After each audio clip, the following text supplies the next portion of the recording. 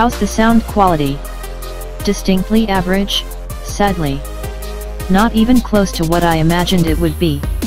In fact, I'd go as far as saying that I have used better sounding headphones that came free with one of my many phone purchases over the years. The design of the earbud itself lets in too much exterior noise, so you never feel truly immersed in the music or whatever you're listening to.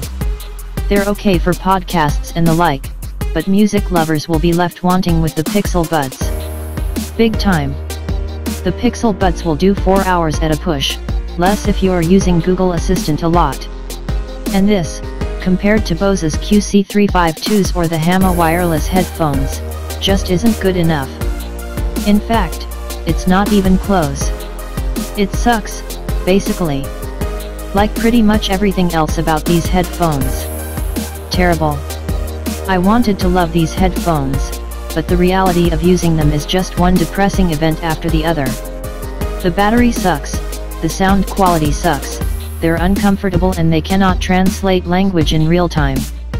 Basically, you definitely want to avoid these overpriced, uncomfortable, sub-PAR headphones like the Plague.